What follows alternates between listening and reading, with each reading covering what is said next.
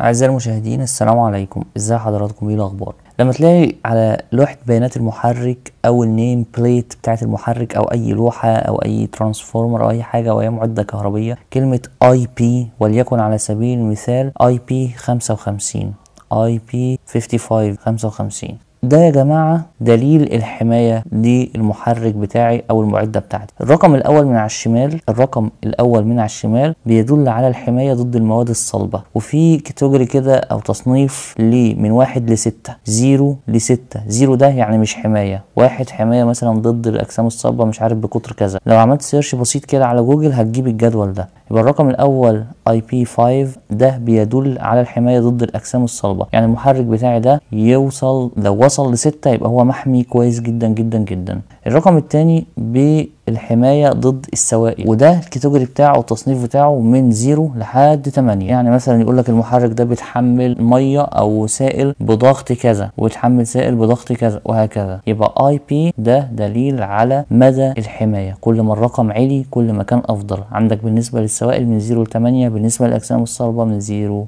لستة. أشوفكم الفيديو الجاي. like و share وساعد في نشر الخير. السلام عليكم.